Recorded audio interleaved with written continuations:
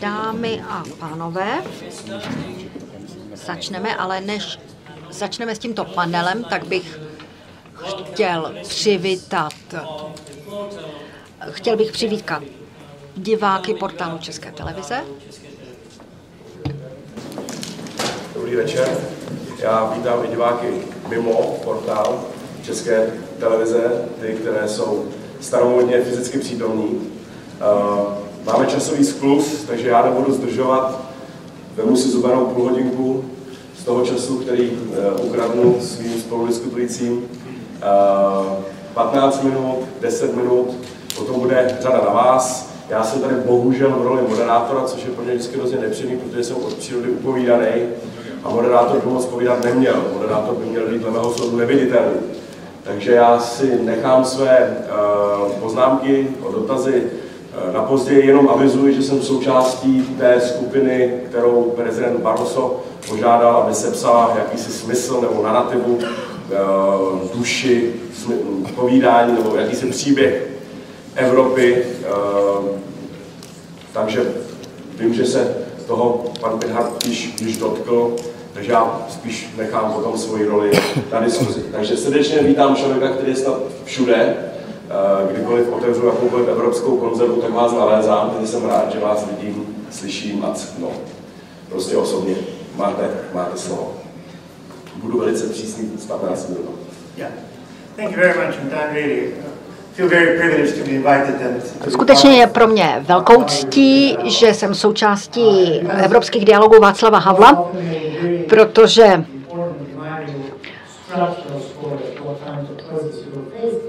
Klaus vždycky hovoří o tom, před jakými volbami Evropa stojí a já budu dělat jenom pár takových poznámek. Chtěl bych něco říct si z hlediska psychologie.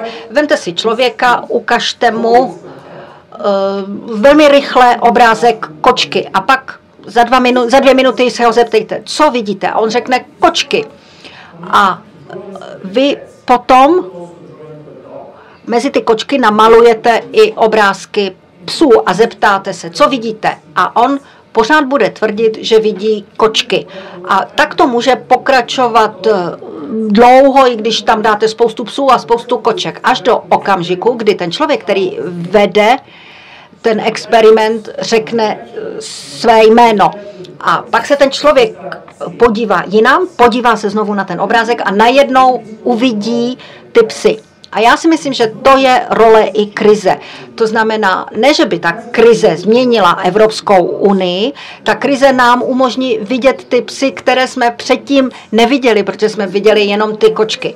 Z tohoto hlediska tedy můj první argument je takový, že z takového toho hlediska, jak jsme znali Evropskou unii, existovala i před krizí, ale nové je to, že my už to víme a to mění naši diskusi. Ale ty čtyři věci, které drží Evropskou unii dohromady, už tady nejsou.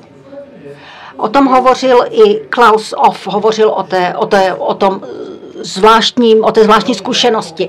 Naše společné vzpomínky na první světovou válku. O tom se hovoří o takzvané poválečné zkušenosti. Ta poválečná zkušenost je jiná, protože lidé bojovali sice na různých stranách, ale měli stejné vzpomínky. Nedávno proběhl průzkum v Německu, kde se ptali 15-16 letých studentů, jak, byly chráně, jak byla chráněna lidská práva v různých režimech a hodně těch studentů se domnívalo, že lidská práva byla chráněna jak za Hitlera, tak i ve východním Německu. Znamená to, že Němci jsou nostalgičtí po Hitlerovi? Ne. Jenom prostě proto, pro tuto generaci je Hitler stará historie, už se na něj neodvolávají, nezajímá je. Zatímco předchozí generace, které to zažili, teď, když vstupují do nové éry, éry, tak najednou zjišťujeme, že vlastně lidé komunikují více v rámci jedné generace, že je složitější gener- mezigenerační diskuse. Takže když dneska přijdete domů, tak byste si měli popovídat především se svým dědečkem a on vám řekne něco o, o válce, ale vy místo toho přijdete domů, zavoláte kamarádce a popovídáte si s ní. Co je lepší? To záleží na tom, jaká je ta kamarádka.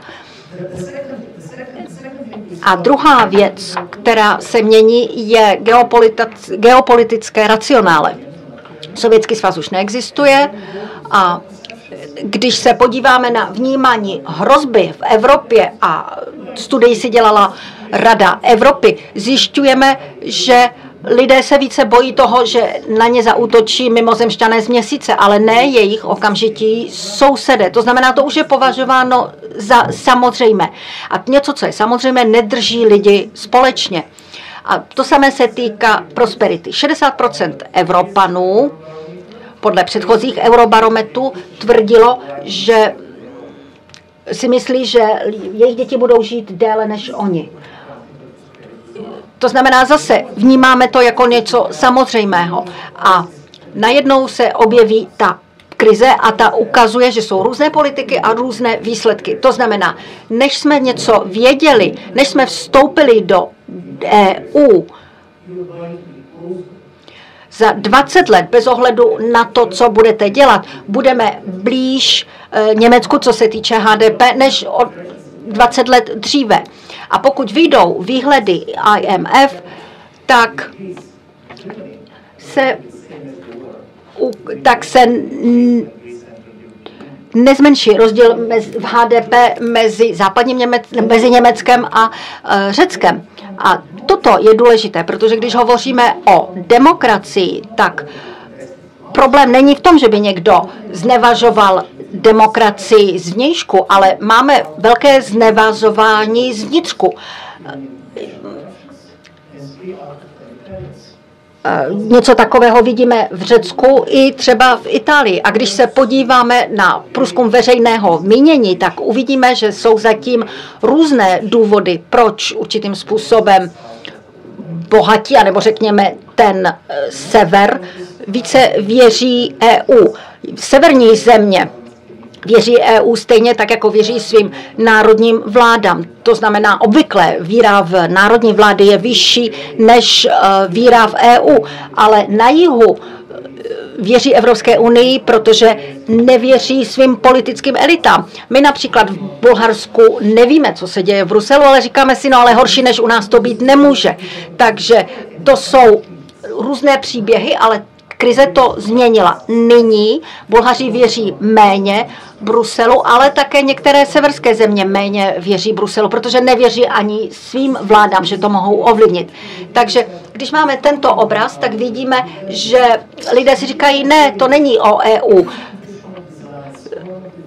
vidí Brusel a Evropský unii jako instituce, jako něco, co je nezajímavé, nezajímavé vize. A nevíme, jak to bude vypadat v budoucnu. Nevíme, co se stane. Evropská unie byla založena jako reakce na krizi a bude to naše odpověď na politické, ekonomické a jiné krize nadále. A to bude určovat, jak se bude Evropa vyvíjet v dalších 10, 15, 20 letech. A nebo možná ne, protože já si nemyslím, že jsou některé jiné příklady nebo příběhy, které Evropané berou jako samozřejmě. Já nevím, jak se dá eh, dezintegrovat Evropskou unii. Vím, jak, se, jak padl Sovětský svaz a komunistický blok, ale Myslím si, že je hlavně nebezpečné myslet si, že rozpad EU je nemožný. Když si myslíme, že něco je nemožné, tak začnete na to tlačit. Hodně studií ukazuje, že města, kde není nejsou dopravní pravidla, tam lidé řídí bezpečněji, opatrněji. Takže můj poslední bod je tady velká geopolitická krize, která teď zrovna probíhá a ta bude mít obrovský dopad na EU. A to je ta krize v Ukrajině. A je to krize v Ukrajině. Já vím, že je tady kolem toho nabaleno spousta symbolů, ale tato krize je velkou výzvou pro EU, protože to nebude krize té měkké síly, to bude krize tvrdé síly, ekonomické síly, o tom, jak velký máme zájem. A abych vám řekl, jak je můj názor, do jaké míry Ukrajina bude stejně důležitá jako rozpad Jugoslávie, řeknu toto. Před 20 lety se to stalo a já si myslím, že tato krize bude stejně důležitá.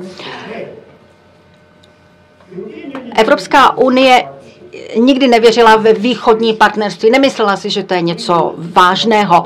My jsme věděli, že nejde o to začlenit Ukrajinu do EU a výsledek byl, že jsme ani neočekávali, že Rusko na to příliš zareaguje, protože pro nás to byl nějaký závazek, ale neměli jsme nějakou velkou transformující sílu, to byl prostě způsob, jak se účastnit, ale nezapojit se. Rusové to viděli jinak někteří přátelé v členských zemích jim slibili, že pokud Timošenková bude ve vězení, tak Evropa nepodepíše. A potom najednou uprostřed léta pochopili, že se to změnilo, že Německo se rozhodlo přitlačit na ten podpis. A potom došlo k dalšímu nátlaku, obchodní blokáda a podobně. A víte, jak to skončilo, že pan Jankovič nakonec tu smlouvu nepodepsal. A pro mě je to velice zajímavé. Já jsem v posledních letech víc koukal na ruskou televizi než kdykoliv v mém dětství a to je něco, protože jsem z Bulharska.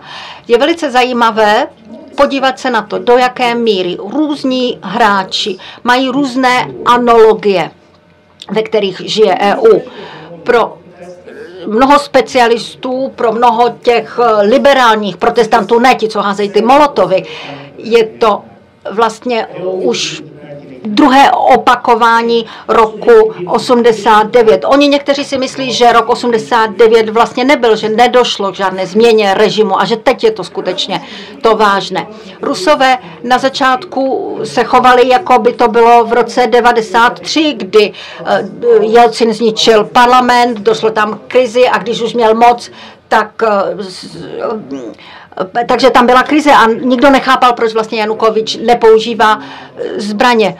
A teď najednou Rusko hovoří o Ukrajině jako o Jugoslávii, jako o zemi, která bude zničena. Pro mnoho evropských politiků, kteří rozhodují poté, co Rusové takto zareagovali, pro ně to bylo jako Československo v roce 47, v době, kdy se nabízel Marshallův plán a někdo Československu řekl, neberte to. To znamená, je tady velká geopolitická rivalita. Takže co se stalo? Kdybychom, aniž bychom to věděli, my tady vlastně zavádíme jakousi geopolitickou válku, na kterou nejsme připraveni, protože pro Rusko Ukrajina je důležitější, než je pro nás. Ale teď jsou lidé na ulici, kteří rozhodli, že rozhodovat budou oni a ne někdo z vnějšku. A máme tedy situaci, kdy EU najednou tím je tím hlavním hráčem. Dohoda byla dnes podepsána, Evropští ministři podepsali, ale Rusko nepodepsalo dohodu. Teď najednou vlastníme tu krizi jako Evropská unie, což znamená, že musíme být připraveni dát peníze, politické svaly a musíme také zůstat sjednoceni. Já to říkám, protože pokud se tyto tři věci stanou, za pět let Evropská unie bude geopolitickým hráčem, neko, ne proto, že to byl náš sen, ale proto, že to je jediný způsob, jak reagovat na tuto krizi. Takže to je to, co jsem chtěla říct, reagovat na tuto krizi.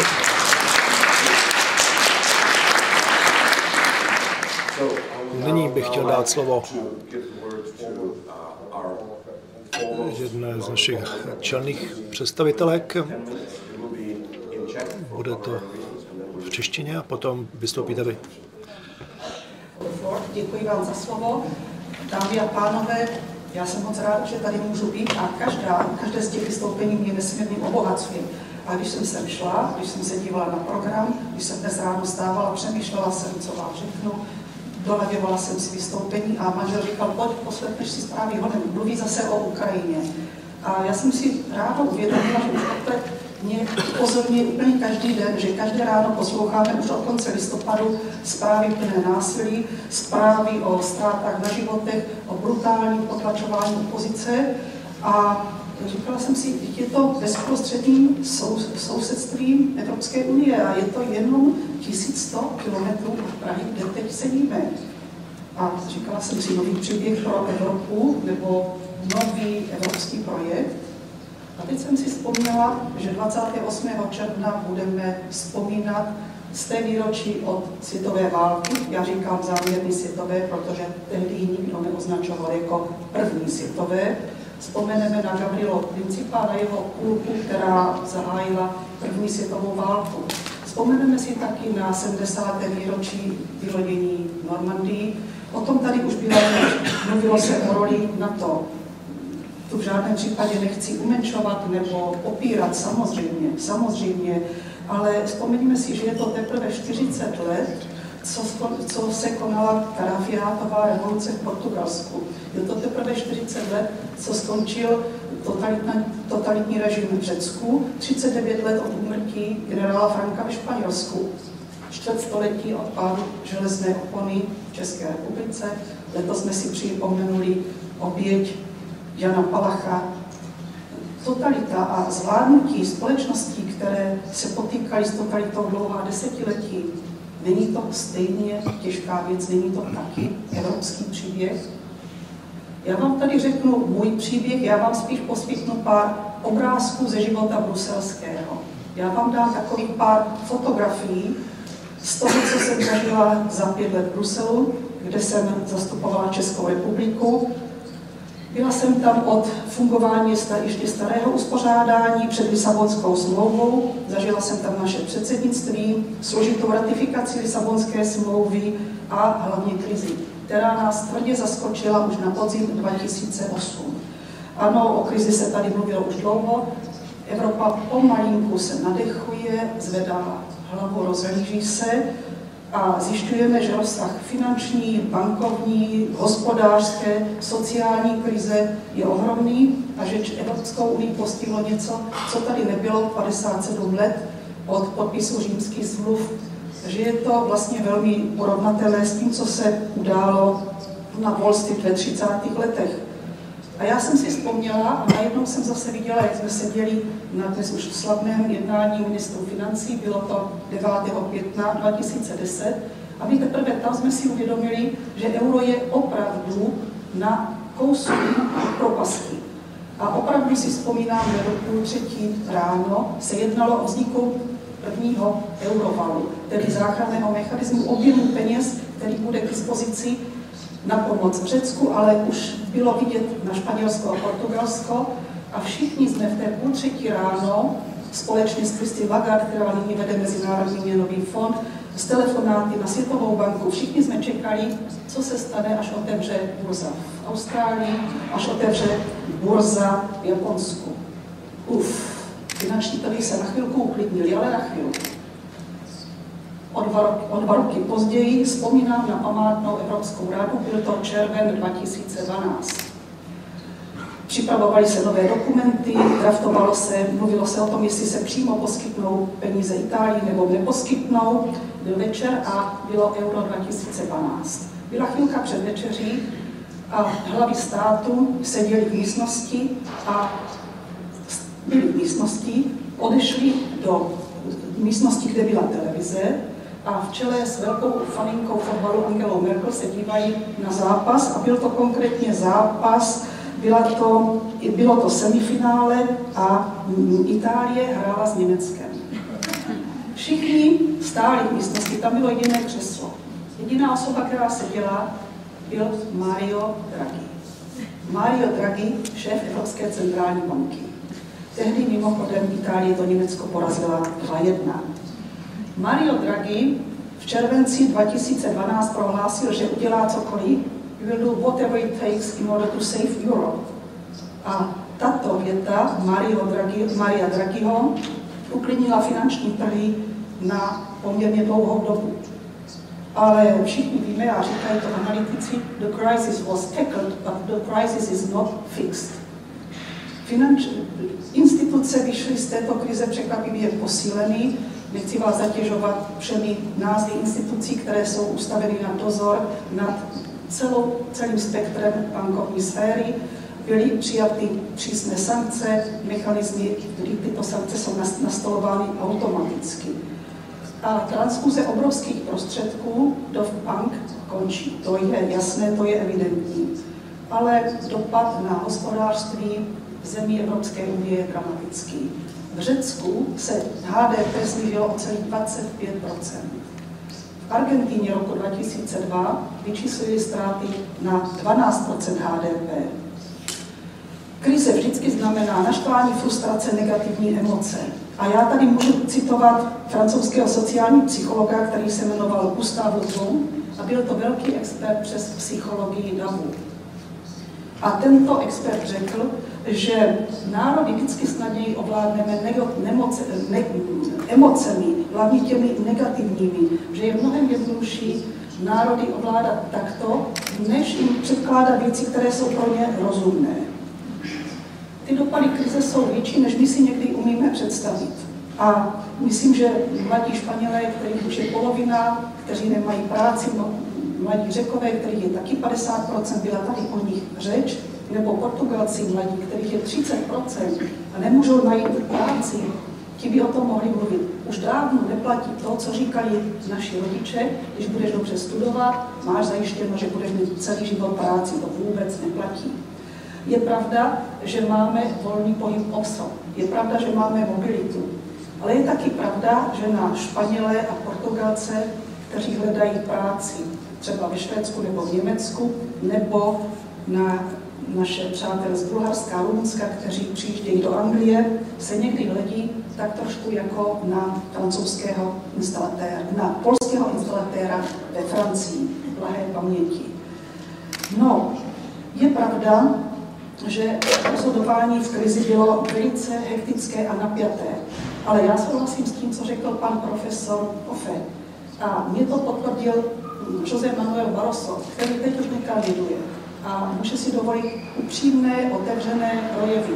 A on nedávno, předevčírem na setkání s analytiky řekl, že krize byla dramatická, ale nikdy nezažil, že by někdo z hlav státu při jednání řekl, třeba mezi čtyřma očima, ukončíme projekt eura, nemá to cenu. Ukončíme eurozónu, nebo ať už některý stát z té eurozóny odejde. A zase musím potvrdit to, co říkal pan profesor Offer mluvil o 153 různých směrných kurzech. Když se mluví, jak by nám pomohla devalvace, dovedete si představit rozkvítání ton finančních trhů, prudký rost inflace v jedné, v jedné zemi, devalvace ze dne na den, dovedete si představit napětí a co by to mohlo způsobit nejen ve finanční oblasti, ale také oblasti vztahu mezi zeměmi, já se někdy setkávám a měla jsem to štěstí, že jsem mohla v Bruselu mluvit často s mými kolegy. Mohla jsem mluvit s, já nevím, s, s kolegou z Velké Británie, ze, Špa, ze Španělska, ale taky s kolegy z pobaltských zemí, kteří si zaslouží veliké uznání za to, jak krizi. A ti mi říkali, to tvrdí, máme tak strašně přísný opatření, je to hrůza, ale bez té Evropské unie by to bylo horší. Opravdu to říkali a já jim musím dát za pravdu. Já jsem taky viděla moc krát jednání hlav státu nebo ministrů. Viděla jsem, že opravdu hledali to evropské řešení. Viděla jsem to napětí. A najednou jednání skončilo a odcházeli do tisk, na tiskové konference a říkali, tentokrát jsme tohle tomu Bruselu napřeli. Ne každý byl tak upřímný jako Jean-Claude Juncker, bývalý premiér Lucemburska, který říkal, my politici dobře víme, co je potřeba udělat. Ale jak to pak udělat, aby nás zase zvolili? Brusel. Každý vám řekne, že to je šedivé nutné město s ošklivou příšernou architekturou, že tam chodí perfektně placení úředníci, kteří z nudy a dlouhé chvíle hledají, jak by občanům zdražili banány z 9 korun na 150. No, a podnikatelé se někdy domnívají, že jim opravdu komplikují život, přitom oni mají opravdu zodpovědnost za práci, za biznis, za zaměstnance. Já vám řeknu, že Brusel vás někdy pohltí. Pohltí vás svým zvláštním kouzlem, pohltí vám tím, tím, že to je opravdu melting pot nejenom evropské kultury. Trošku tomu přispěje i mimořádná výmoc Bruselanu, ale vy se najednou odstnete ve strašně rychlém kole.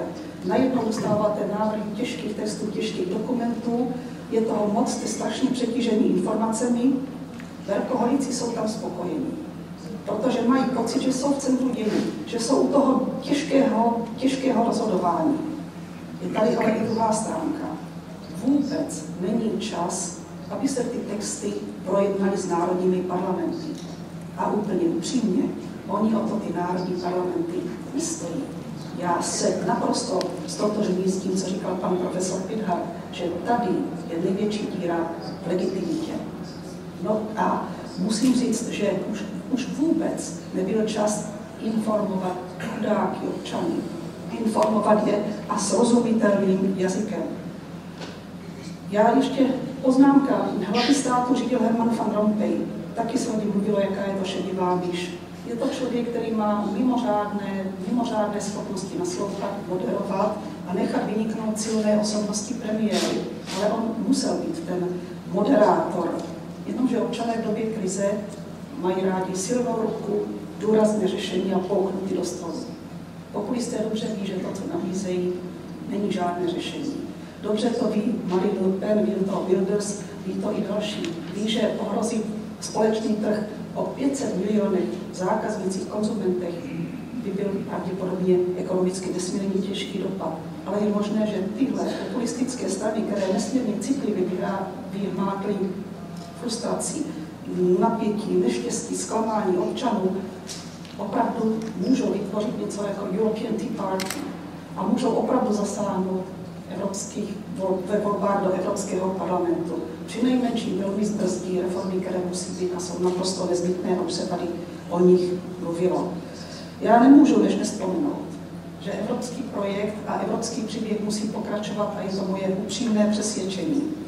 Vzpomínám, jak v těch 50. letech vytvořili společenství, které bylo kontrolovat uhlí, ocel, jadernou energii, aby už nikdy nebyly totality, krvavé války, bratrovražedné boje, genocidy.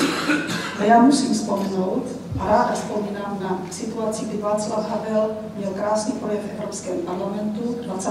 výročí pádu železné osoby, železné opony a řekl, evropská integrace, díky které žije větší část našeho kontinentu tak dlouho v míru, je v skutku unikátním pokusem o demokratické soustátí.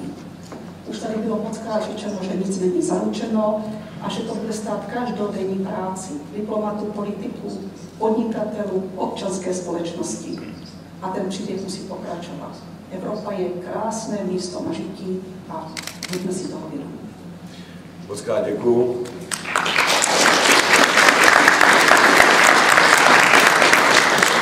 Nic není zaručeno kromě času, byť mi to ve srdce, tak uh, musím dát slovo dalšímu řečníkovi, na jsem, na kterého jsem velice zvědav. So you have your 10 minutes now. Děkuji mnohokrát, jsem velmi rád, že jsem byl pozván na toto fórum. Také bych chtěl přispět do diskuse o tom, jak znovu oživit Evropu a vlastně dvě hnací síly evropského projektu za posledních asi 25 let už byly několikrát zmíněny. To první je to velmi dobře známé co jsme už říkali, trh budování společného trhu a druhým, druhý hnací sílo, druhou hnací sílou je právní harmonizace. My si velmi dobře uvědomujeme, jaké jsou ty hlavní problémy e, při budování spravedlivé konkurence a budování demokracie. Samozřejmě, máme tady řadu otázek. Za prvé, zda naše demokracie jsou dostatečně inkluzivní, zda dokáží zaručit práva většinům občanů, anebo co je to s tou migrací, to vnímání migrace a svoboda pracovní síly v Evropě. Já ovšem nechci o tomto hovořit teď. Chtěl bych se zaměřit na tu třetí, pravděpodobně novou hnací sílu budování Evropy, která se objevila za posledních několik let.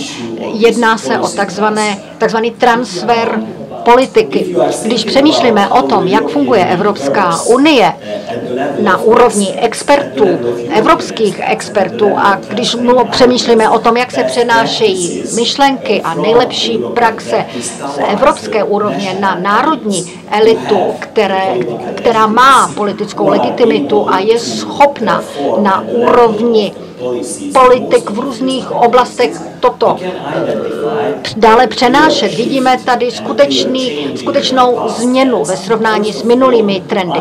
Za prvé, na rozdíl od předchozích dekád, kde fungovaly především neoliberální představy, dnes nejvlivnějšími myšlenkami jsou pravděpodobně myšlenky o sociálních investicích a myšlenky ze severských zemí. Když pracujeme se srovnávacími evropskými projekty s různými experty, tak obvykle ty nejlepší praxe přicházejí právě ze severu Evropy. Švédsko, Dánsko, Finsko, Nizozemsko. To jsou ty země, které jsou nejčastěji citovány jako ty, které mají ty nejlepší možné praxe a které dávají novou naději, že dokážeme znovu vybudovat tu novou evropskou identitu a také tu slavnou sociální Evropu. Ale zároveň vidíme, že před krizí jsme viděli hodně těch koček, hodně těch nadějí, jak funguje ta sociální logika, jak se bude šířit po celé Evropě. A teď vidíme spíš ty psy, ty neúspěchy přenosu politik. A je tady zásadní otázka, proč? Proč nejsme schopni vypůjčit si ty nejlepší praxe ze severu a přinést je do ostatních evropských zemí. Já si myslím, že ta odpověď by byla příliš složitá, ale mám alespoň jeden návrh, který může pomoci pochopit, jak dochází k přenosu politik. Ve většině diskusí se zaměřujeme na obsah těch politik, ale nezaměřujeme se na procedural procedurální demokratické prvky. Nezdůrazňujeme společenské hodnoty a politické konstrukty. Jak se odehrávají nové reformy v těch méně silných a zranitelnějších zemích Evropy? Nejdříve je jakýsi reformistický program, který je pod časovým tlakem, to znamená, není čas na nějakou pomalou, pomalý demokratický postup, není čas na konsensus v té národní politické komunitě. Pokud nejsme schopni přenést logiku těch politik a nedokážeme ji použít na pomalejší prosazování a větší zapojení občanů, tak pravděpodobně se nám nepodaří dostat se té, z té pasti. Takže můj návrh velmi stručně spočívá v tom, že bychom měli usilovat o participatorní občanský proces při přenosu těchto postupů, což znamená, že bychom asi měli být mnohem trpělivější, když hovoříme o konvergenci, o znovu sjednocování Evropy z hlediska ekonomického vývoje, protože musíme se více zaměřit na demokratické postupy a na procedurální otázky spojené s přenosem těchto politik. To je všechno, co jsem k tomu chtěl říct. Možná jsem byl stručnější, ale chtěl bych, aby publikum mělo čas také na otázky. Děkuji. Okay, because, uh, Slyšel jsem tady takové řeči, že publikum nedostává slovo, takže udělám něco nestandardního. Předám slovo nejdříve vám a potom si můžeme vyměňovat názory, takže nejdříve naše publikum požádám uh, hostesky, aby předali zájemcům mikrofony. Pokud nebo pokud máte otázku, tak zvedněte ruku, můžete něco připojit nebo se zeptat. Buďte prosím struční, řekněte, co vás zajímá. Zatím někdo? V pořádku. Prosím. Paul? Potřebujeme mikrofon? Ano. Kvůli tlumočení. A potom... Okay, Thomas, just to start, start it off, Myslím, že Ivan tady řekl něco velmi důležitého z hlediska ukrajinské krize. Jinými slovy, krize umožňuje Evropě, aby si vypracovala nový postoj, novou strategii, strategii, která nakonec může fungovat velice efektivně. A často jsme slychávali, že Evropa se rozvíjí v krizích, v různých fázích krize. A teď tady máme nejhlubší a nejtrvalejší krizi. Takže moje otázka je následující. Proč je tady jakási paralýza? Proč je v Bruselu paralýza? Milena tady popsala jakousi paralýzu. A když hovoříte z ekonomiky, tak vám řeknou, že úsporná opatření prostě nefungují. Někdo říká, že to funguje, ale zdá se, že to je velice povrchové, na písku postavené. Takže moje otázka zní, proč této krizi je tady takováto podobná paralýza. Určitě, jestli je nějaká země v krizi, tak je to Ukrajina. A zajímavé na tom je, že když je nějaká země v krizi, tak říkáme, potřebuje více Evropy. My jsme, Evropu, my jsme si to také říkali, že potřebujeme integraci. Pak je tady ještě další otázka, tady dáma a potom pan Žantovský. Děkuji za to, že mi dáváte možnost položit otázku. Slyším tady, že je tady velký konsensus, co se týče potřeby zapojení občanů a ráda bych slyšela vaše názory o tom, jak toho, na to, jak toho dosáhnout. Děkuji. Dvě praktické otázky. Pan Šantovský, prosím. Já mám spíš takovou připomínku než otázku.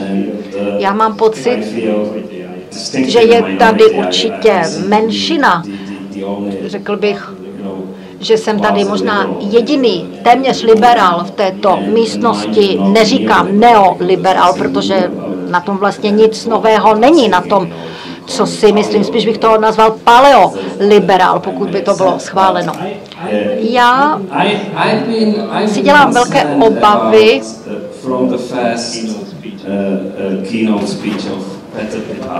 už od prvního vystoupení Petra Pidharta, že některé ty recepty, které byly tady navrženy,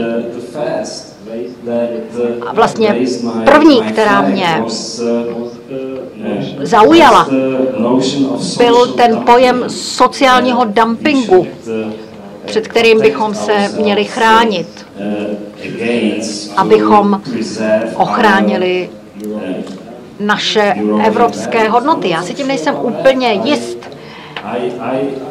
Já jsem si říkal, kdy jsem slyšel poprvé o sociálním dumpingu.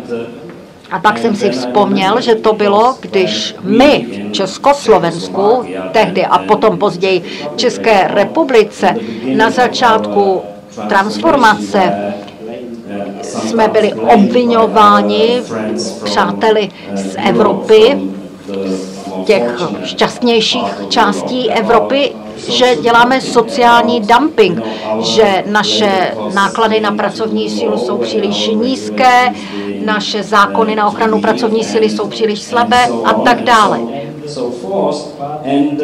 Ale pokud toto jsou ty evropské hodnoty, tak si nejsem tak jistý. Pokud to, co my chceme udělat, je chránit dotace na alternativní zdroje energie. a teď dokonce i vlády přiznávají, že to je neudržitelné, anebo směrnice o pracovních, pracovním čase, kde některé vlády také říkají, že to je neudržitelné. Chceme se tedy chránit před konkurencí z Ázie a nových ekonomik. V tom případě na sebe bereme riziko, že skončíme jako Amish v Pensylvánii ve Spojených státech, kteří mají krásný způsob života, udružili si ho už od 18. století a nosí krásné kroje a podobně a jezdí za nimi turisté z celého světa a pozorují je, jak se tam takto krásně staromodně chovají. Myslím, že to říkal Farik Zakaria říkal, že za pár let budeme tady muzolem demokracie a podobně a budou za námi jezdit lidé z ostatních částí světa. Bude to jako dneska, jenom tady všude to bude proskleno, aby se na nás mohli lidé z jiných zemí koukat jako v zoo a poznamenávat si, co děláme. Takže prosím. Co se týče konkurence, jak konkurence funguje. Já mám přítele, který vydělává hodně peněz a on říkal, já, když jsem byl mladý, tak jsem dělal to nejlepší, co je na světě, sex. A teď jsem v biznis, eh, teď mám svůj biznis a dělám co? Monopoly. Monopol. A vylučuje jedno druhé, v jeho případě ano. Ale to je docela důležité, protože co vlastně způsobuje konkurenci? Konku, nebo co dělá vlastně konkurence? Konkurence přispívá ke spravedlnosti a eh, jestli to přispívá k monopolům nebo ne, to už je jiný příběh. Když se podíváme na Ukrajinu a když se podíváme na Evropskou unii, tak Evropská unie je nejenom Brusel. Můžeme to ukázat právě na případě Ukrajiny. Pro mě bylo zaražející z hlediska zahraniční politiky, jak se zvedalo Polsko, protože v zahraniční politice existuje několik typů, typů vůdcovství, je tam celá řada podmínek a podobně, ale když máte zemi jako Irák, tak tam jsou ty tři velké země, ale pak je tam také to vůdcovství, které se týká těch nejvíce dočených zemí.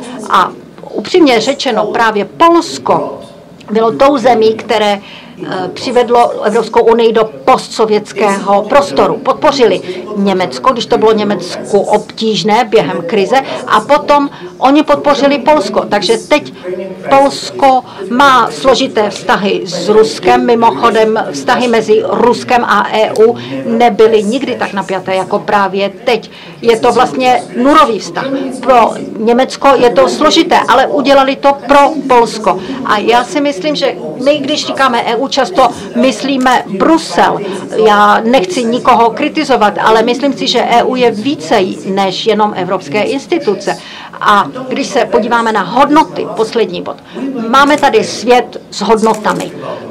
Když se podíváme zpátky na Ukrajinu, víte, co bývalý ukrajinský minister minister říkal svým, pod, svým podporovatelům eh, v Kijevě, ano,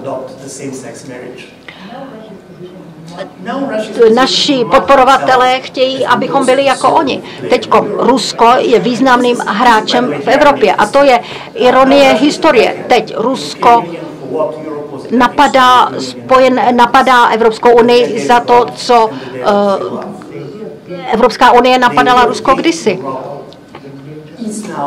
Teď skutečně dochází k velkému ideologickému boji. Bojuje ho především Putin proti Evropě. Nejde o instituce, nejde o trhy.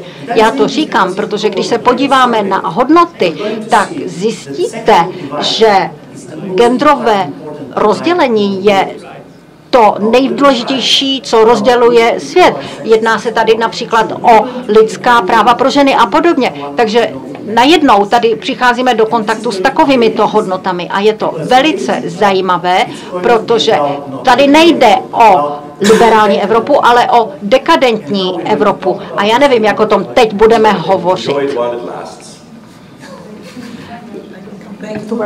Já se vrátím tomu rozporu, pokud je o Ukrajinu, ale musím se vrátit trošku k teorii.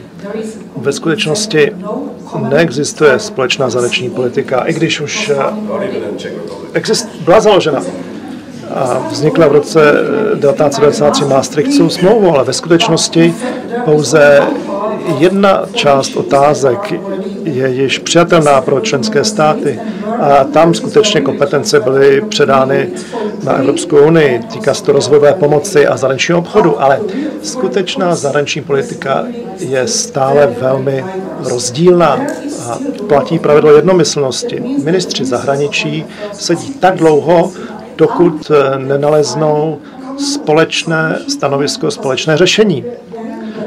A skutečný melting pot byl v Gimnichu. Neformální zasedání ministrů zahraničí za zavřenými dveřmi. Tam se skutečně něco dělo, ale existuje pravidlo jednomyslnosti a je to také možnost, že pokud jedna země má vážné problémy, tak se může konstruktivně zdržet. A tento nástroj je použit pouze jednou a to v případě Kosovo, kde Kypr se zdržel, ale neporušilo to pravidlo jednomyslnosti. Ale tento nástroj nebyl vlastně nikdy použit. Tady zahraniční politika se v jednotlivých zemích liší a nemůžu souhlasit s tím, že bychom tlačili na vznik evropské zahraniční politiky. To by nebylo správné a potřebujeme více času. Tak, jak řekl Attila, já s tím plně souhlasím. A to je také problém paralýzy Evropské unie, když je potřeba rychlých kroků. Abych byl tak trošku zlý, je správné říci, že dlouhodobě Evropa je rozumným řešením, ale v dlouhodobém výhledu budeme všichni mrtví. Ano, Catherine Ashton je prvním krokem. A skutečně by to vyvolalo eh, negativní reakce a znamenalo by to problémy. Pokud je o aktivní občanství a nasazení, zapojení občanů, ve skutečnosti, pokud se snažíme pochopit eh, vlastně dvě skupiny evropských zemí, v jedné skupině aktivní občané a politická účast funguje dobře, je to sever a severozápad Evropy. A druhá skupina, kde občanství je pomalejší, občané jsou většinou pasivní a celá koncepce europeanizace je pasivním procesem, kde není takový příspěvek vůči této myšlence. A jak zvýšit politickou účast v těchto druhých zemích? To je asi zásadní otázka. Za prvé, Zřejmě je možné použít řadu různých metod. Mnohem větší zapojení žen. Víme dobře, že politická účast žen je nízká v Maďarsku mimo jiné, ale v celé řadě zemí střední a východní Evropy. Mnohem nižší než před 10-15 lety. Podobná otázka se týká politické účasti mládeže protože to, co jsme zažili nedávno, je, že mladší generace se zúčastní zejména práce v nových politických stranách, které jsou často spojeny s extremismem, ale u těch eh, etablovaných, eh, umírněných stran účast mladých je nízká.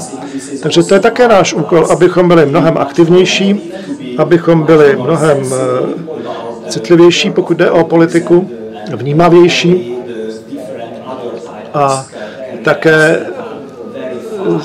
vlastně měli na zřeteli ty profesní kariéry, které jsou odpolitizované a vzdálené od politiky. Je to náš úkol, pokud jde o regulaci pozitivní diskriminace, určité kvóty pro ženy, což bylo používáno za velmi neliberální řešení před několika lety, tak právě tato řešení by nám také mohla pomoci. Dobrá. Máme tu ještě dvě další otázky. A je tu mnoho tedy aspirujících ekonomů a já mám pocit, že kdokoliv bez ohledu na profesi je tak zakotven v ekonomice, v ekonomii, že to by, že, že by, by bylo možné vyřešit veškeré problémy a vlastně i ty svobody, které máme, svobodu cestovat, volný pohyb osob, volný pohyb kapitálu, to je vlastně podnoženou ekonomiky. A když se zeptám, proč právě nyní? Německo před 12 lety bylo nemocným mužem Evropy, před několika lety zase Velká Británie. A dnes, kdybychom byli méně politicky korektní, bychom možná měli říci nemocnou ženou Evropy ale musíme být skutečně spravedliví. Finsko, pamatuju si na začátku 90. let po pádu sovětského režimu, Finsko bylo, bylo nemocným mužem Evropy. Česká republika a celý středoevropský blok bylo nemocným mužem Evropy. A my už nejsme, potom jsme se stali uh, troublemakery v Evropě, ale to už se také posouvá a vlastně lepší být ve střetu zájmu, než ve střetu nezájmu. A tedy proč právě nyní? Proč eh, právě nyní jsme najednou tak filozofičtí a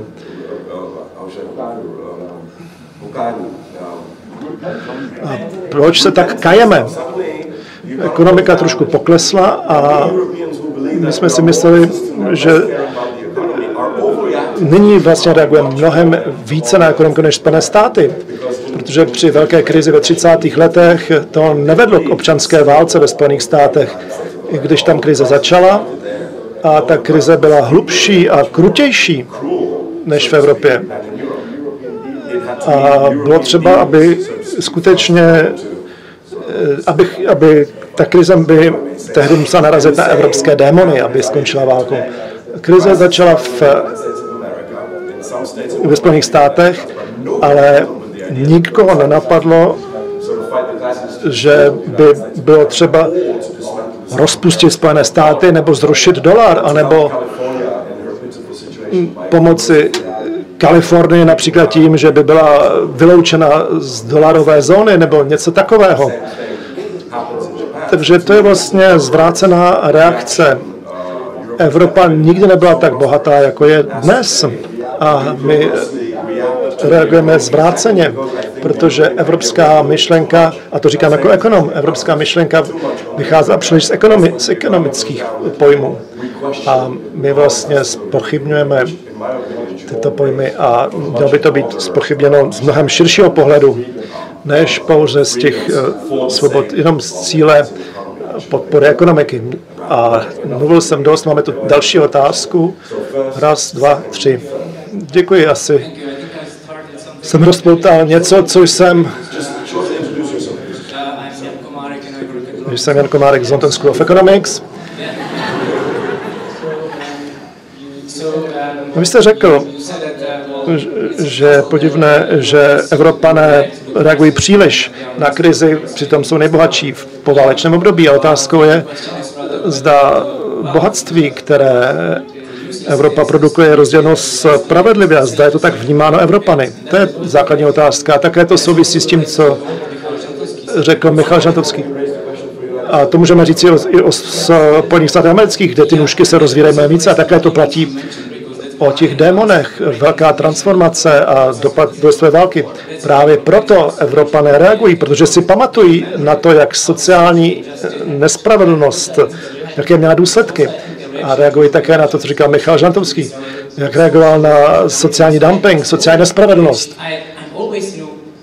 Já jsem vždy udiven, přijíždím z Londýna a slyším slova, která se používají, používají běžně na západě a tady jsou spochybňována jako sociální spravedlnost, kapitalismus, což je považováno za marxistický ideologický termín, spíše než popis eh, společenské reality okolo nás.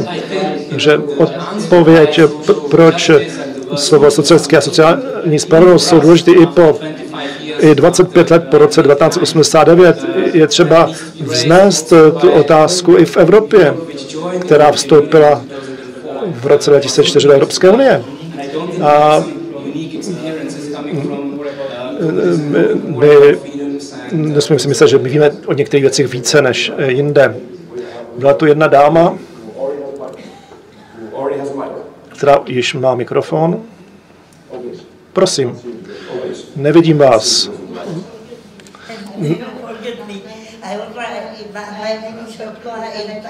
Já jsem z Justice International, což Šroubková, a jsem velmi vděčná, že jsem,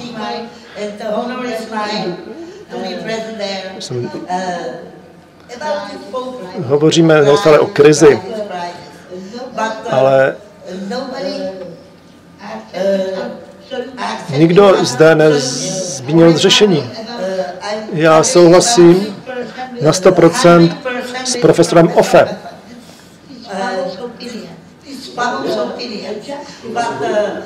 A s jeho názory. Ale spravedlnost je novorozeně. A jak my jako Evropa můžeme vlastně vytvářet solidaritu, spravedlnost, společnou obranu. Jaký je váš názor na tyto otázky? Jak to zařídit? A je to, mož, je to možné cestou drobné spolupráce mezi národy? Díky, že jsme se díky vám vrátili k našemu tématu. Já se musím vrátit ke své vlasti.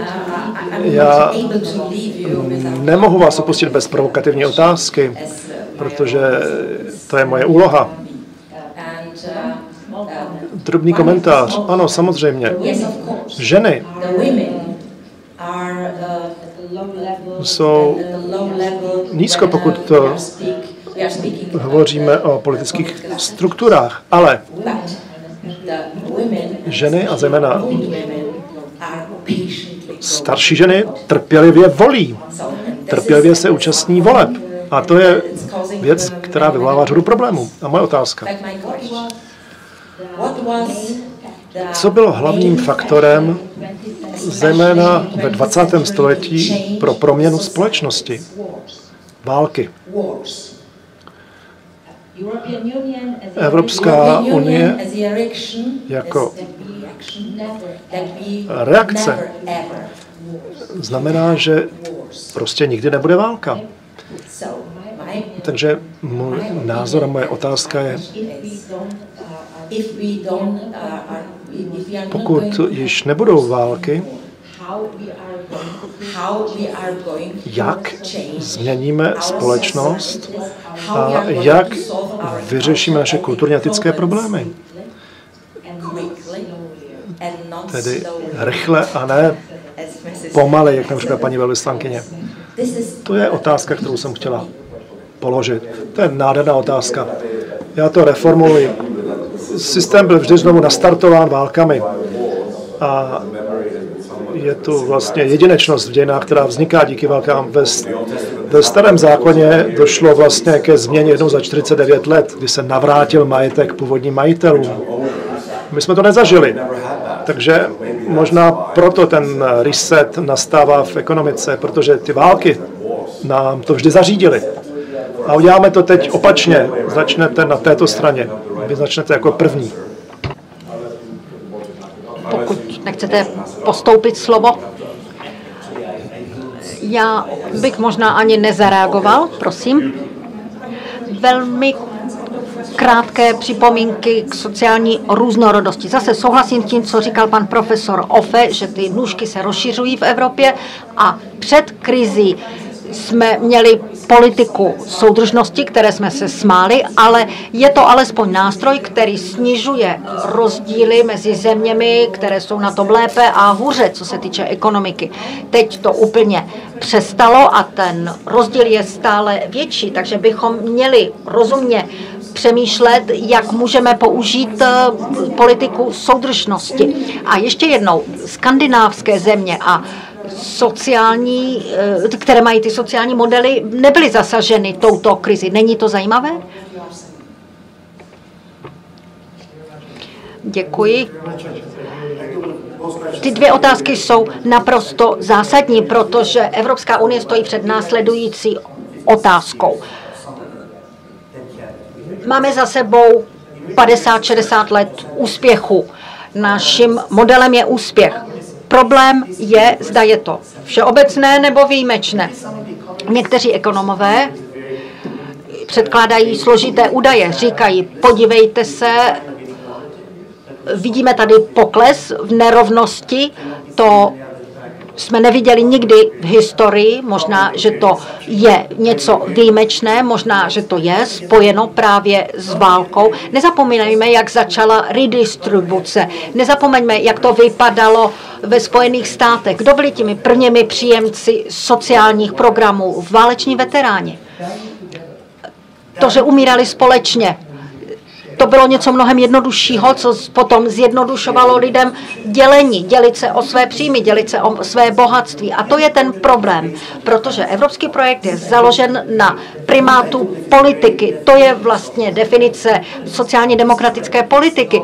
To znamená, ne trh bude rozhodovat, ale je tady nějaké politické rozhodnutí, které je přijato demokraticky v nějakém společenství. A tady máme najednou krizi, která, ukaz, která nám klade otázku, zda ten model je univerzální a zda je to postaveno na skutečně kolektivní zkušenosti, která se nedá reprodukovat. To není jenom o institucích. Například, poslední bod, protože když srovnáte rok 1914, 45, 89 a tak, vidíme, jak byly řešeny problémy. V roce 1914 jsme si nic nevyměnili, vyměnili jsme si trochu hranice. To znamená, ustanovili jsme hranice, vytvořili národní státy, zmizela impéria.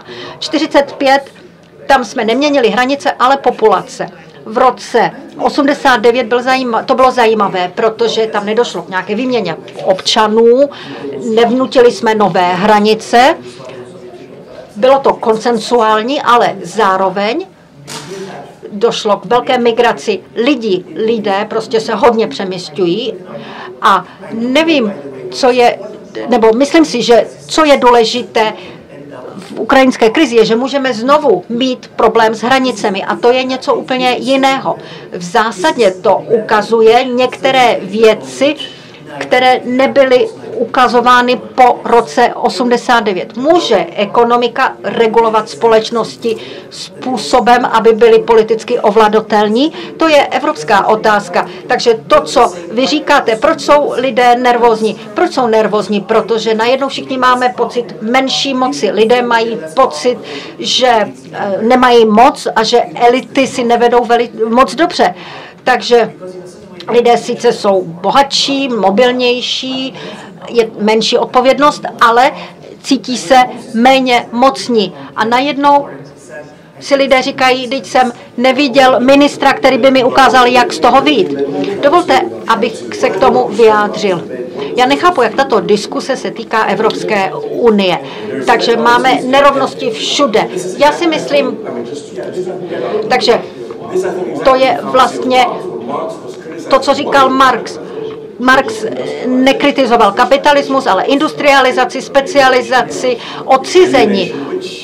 To je něco jako v Novém testamentu, že eh, tento pocit máme prostě od nepaměti a Marx tyto pocity využil proti kapitalismu a komunistické země se také pokoušely industrializovat. A já cítím něco takového i tady. Pokud máme pocit, že je tady nerovnost nebo nedostatek té moci, řekněme to takto, Cítili se američané silnější, když eh, Bush zahájil tu válku, anebo se cítili frustrováni? Ano, to je ta otázka. Američané pravděpodobně ze špatných důvodů, protože tam jsou také politické nerovnosti problém u evropských voličů je takový, ne že by nesouhlasili s mocí, ale oni neví, kde ta moc je. Občany je takový detektiv. To je jako ten moderní Orient Express. Vy se obrátíte na vládu, vláda vám řekne, ne, to nejsem já, to je Brusel. Brusel vám řekne, to nejsem já, to jsou trhy. A já jsem včera hovořil s Žakem Rupníkem, který řekl, bylo možné napsat uh, otevřený dopis ústřednímu výboru KSČ, ale nemůžete napsat otevřený dopis trhu. A to je důležité. Tady potom vznikají ty teorie o spiknutí, protože lidé si říkají, kde je ta moc, kdo ji má. A je zajímavé, že předtím vlády říkali, já jsem silný, můžu udělat to a to. Samozřejmě lhali, ale lidé tomu věřili. A teď vlastně největší soutěž je mezi politiky o tom, kdo vám bude lépe a více říkat, že nic na něm nezáleží. To je potom ten nejlepší politik. Uh, jsou lidé, je tady hodně lidí, kteří věří v teorii spiknutí a jejich největší obavou je, že žádné spiknutí není. To je ta nejhorší situace. Představte si, že někdo tomu věří a najednou se ukáže, že to neexistuje. Takže to je skutečně hrůzostrašné uvědomit si, že nikdo nemá moc nebo nikdo nemůže rozhodovat. A druhá věc, možná, že jsme došli dále než američané, kteří pořád si myslí, že jsou vojenskou pravomoci, možná že je lepší někdy spolupracovat, než se snažit řešit situaci kladivem. A druhá věc, máme tady evropskou depresi A není to způsobeno právě tím, že nemáme žádnou inspiraci, na kterou se můžeme dívat a říkat si, o to usilujeme. Máme tady samozřejmě evropský model, který kritizujeme, ale pak si řekněme, tak když ne evropský, tak jaký? Uh, japonský, čínský, africký? Takže sedněme si, podívejme se kolem a uvidíme, že neexistuje žádný real model. A to je asi ten druhý model, který, eh, ten druhý problém, který se týká uh, nás, protože my hledáme nějaký ideál. My jsme srovnávali ideální komunismus se skutečným kapitalismem. Měli jsme srovnávat ideální komunismus a ideální kapitalismus, anebo reálný kapitalismus s reálným, s reálným komunismem. A teď něco takového nemáme, takže s čím se srovnáváme? Možná, že jsme příliš sebekritičtí. Já tady trochu obhajuju ďábla. Já si myslím, že jsme někde, někdy příliš kritičtí a chtěla jsem uh, něco dodat.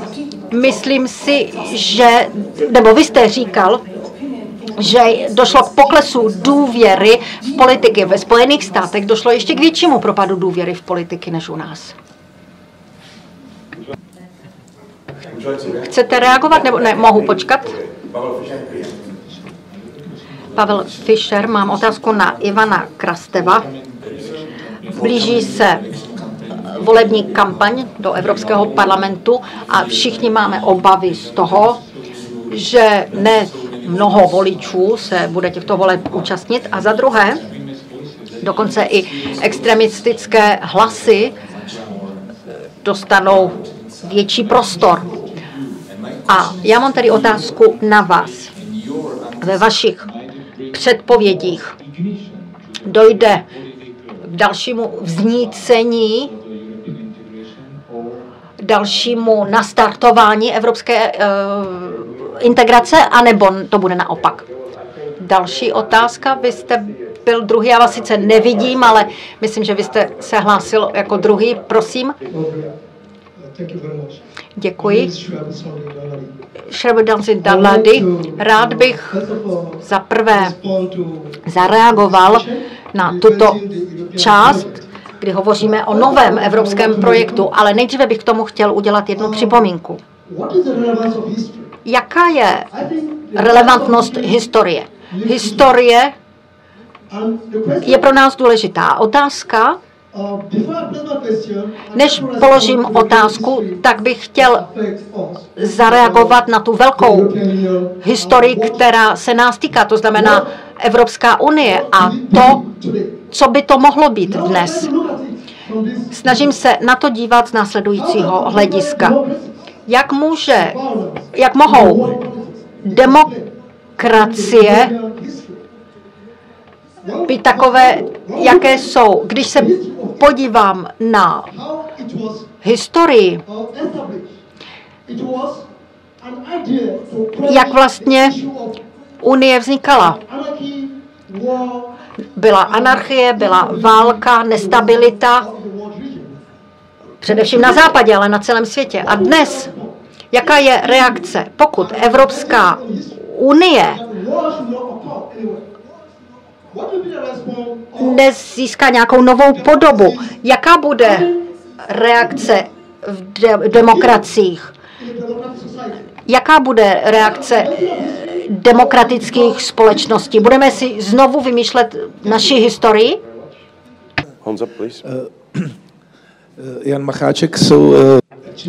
Jan Macháček, mám otázku, která je namířena na Tomáše, i když je vlastně jen moderátor.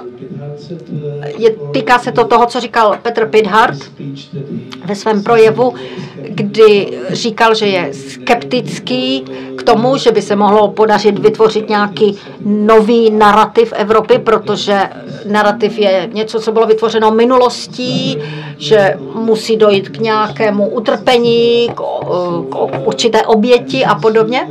A protože ty sám se účastníš té tvorby nového narrativu pro Evropu, tak bych byl velmi rád, kdybys nám tady k tomu mohl říct pár vět a zareagovat na to, co říkal Petr Pidhart. Ano, děkuji. Vždycky si vezmeme tak tři otázky. Pořád máme ještě krásných deset minut a myslím si, že pak hlavní problém bude zastavit ten panel. Takže prosím, zareagujete, než zareaguju na Honzu já, protože to bude trvat dlouho. Někdo chce zareagovat na tu otázku, jak vlastně přistupujeme k naší minulosti, jak si vytváříme naši minulost? Já si myslím, že to je velice důležité. Pokud jsou nějaké strany, které europeanizují politiku, pak to jsou euroskeptické strany. Pro ostatní všechny je to národní politika.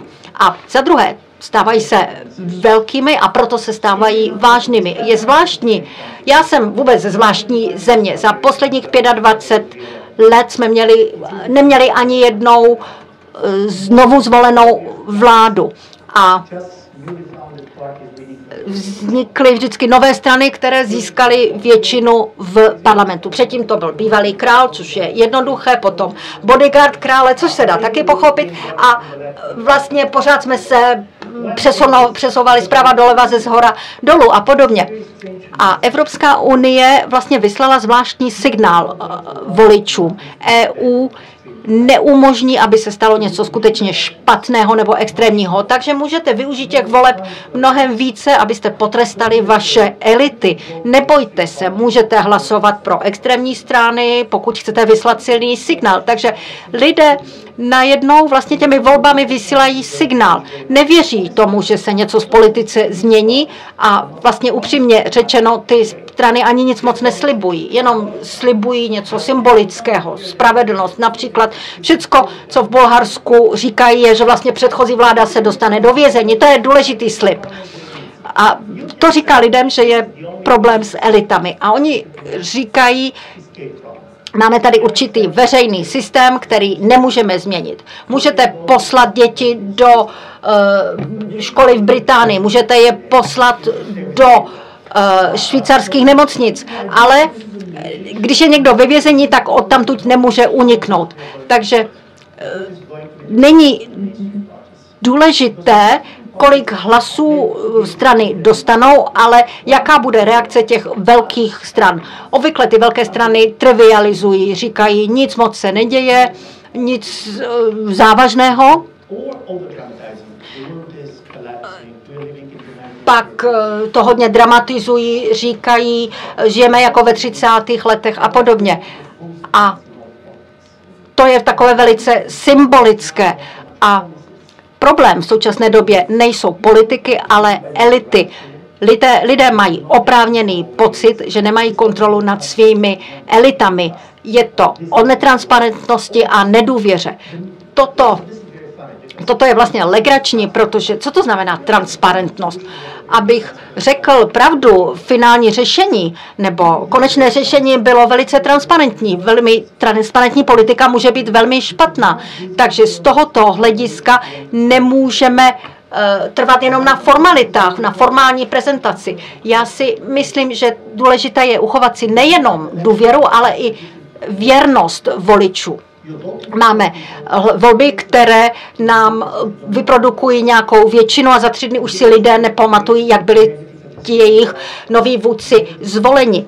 A pak je tady také negativní selekce politiků. Je velice složité v Bulharsku eh, dostat se do politiky, protože to má velké náklady. A když se chcete dostat třeba do novin, nikdo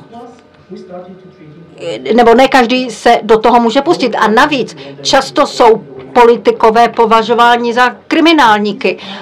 Takže tento typ politiky je založen na nedůvěře v politickou třídu a já se obávám, že to úplně změní způsob, jakým funguje demokracie. Poznámka k transparentnosti. Já si opravdu myslím, že evropská politika je transparentní. Byli byste překvapení, ale je možné sledovat zasedání ministrů Evropského parlamentu na internetových stránkách. Já už jsem to vyzkoušel. Ale já myslím, že transparentnosti více nepotřebujeme. Potřebujeme více srozumitelného vyjádření, vysvětlování. A evropské vysvětlování k evropským otázkám. A většině lidí to je jedno. Není, situace není tak zlá. A, a problém je, že když ani se nedozvím vlastně, že budou nějaké evropské volby, tak eh, proč se znepokojovat? A je pravděpodobné, že počet eh, počet stran, které tedy jsou tedy negativně naladěny vůči Evropské unii, představují 12% v současnosti v Evropském parlamentu a může to narůst až na 25 až 30%. Já nejsem na straně euroskeptiků, ale pod, podpořila bych je v, v rozumném množství, ale neměly by to být eh, nebezpečné nacionalistické, populistické strany. Já hovořím o euroskepticích.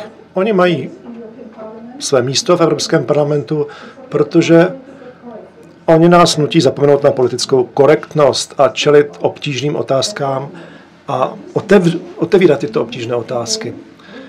A to se projevuje v pozitivnějším přístupu občanů a ve větší důvěře a pochopení. Takže nic proti euroskeptikům, pokud jich není příliš mnoho. Možná by měla být nějaká kvóta na euroskeptiky. Ale měli bychom je sledovat velmi pečlivě.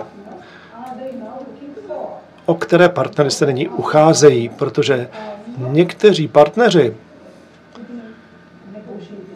s nimi by se prostě jednat nemělo. Dobrá, tak já spojím ty otázky. A je mi líto, že jsem neslyšel váš projev, ale pečlivě jsem si ho přečetl. Nejde o to, zda příběh eh, bude či nebude, narrativ ano nebo ne.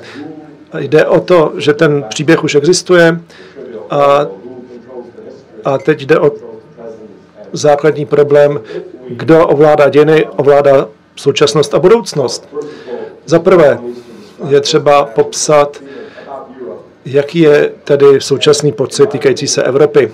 A podle mého názoru jde o ekonomický, byrokratický a vyjednávací úspěch s některými neúspěchy. Ale je to vlastně zázrak, že tolik zemí zůstalo pohromadě tak dlouho. A to vidíme dobře na příběhu 12 či 14 lidí, kteří vlastně jsme vzděláni stejným způsobem a dát dohromady společný text bylo velmi bolestné. A naše úloha je vlastně vysvětlit nám, Evropanům, že Evropa se netýká ekonomického růstu. Je to víc než ekonomický růst. Není to pouze společný jmenovatel různých byrokratických postupů. A můžeme být kritičtí vůči byrokracii, ale ta nás vlastně zachraňuje před řadou konfliktů. A to se týká také toho jednání. A to zde právě schází. E,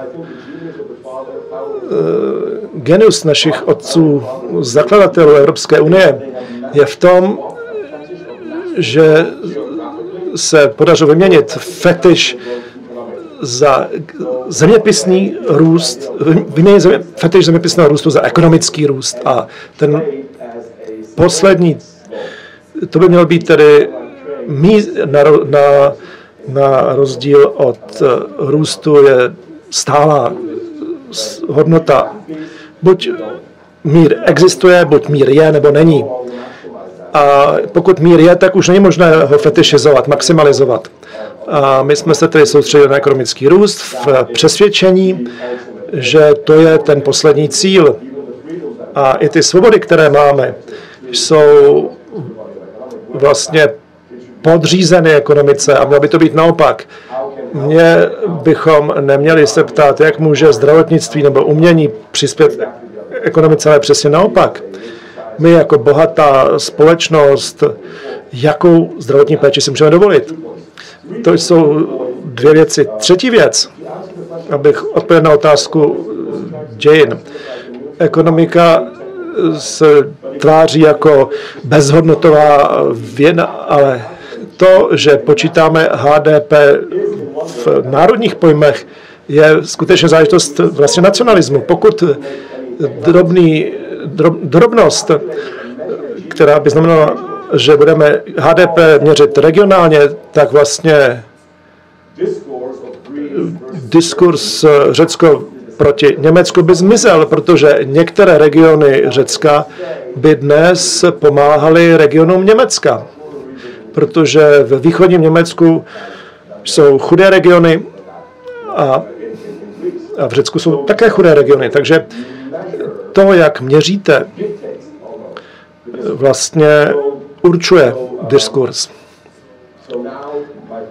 A poslední věc, kterou chci říct, je, že dnes nikdo nechápe fetiš našich předků jako něco politicky nekorektního a uvedu vlastní zemi. Je to hloupý příklad a neopodstatněný. Pokud by někdo nabídl České republice polovinu Polska, nakonec my máme dost vlastních problémů a my nestojíme o regionální zvětšení České republiky, ani Švýcarsko, ani Německo. Prostě není to věc, o které uvažujeme. My už prostě takto fetišisticky neuvažujeme. A před dvěma generacemi bychom byli schopni se pozabíjet kvůli něčemu takovému. A to by mohlo být zcela pochybitelné pro naše děti. Prostě co to měli s tou ekonomikou? Existoval problém v jednom regionu Evropské unie a to by mělo způsobit zhroucení celého projektu. Poslední věc, nastupující nacionalismus. Naprosto souhlasím, že je to velmi nebezpečné, máme vlastní zkušenosti. A na druhé straně, kde je Sládek v České republice a jeho nacionalisti? Na Slovensku. Kde je Mečiar a některé ještě nacionalističtější strany?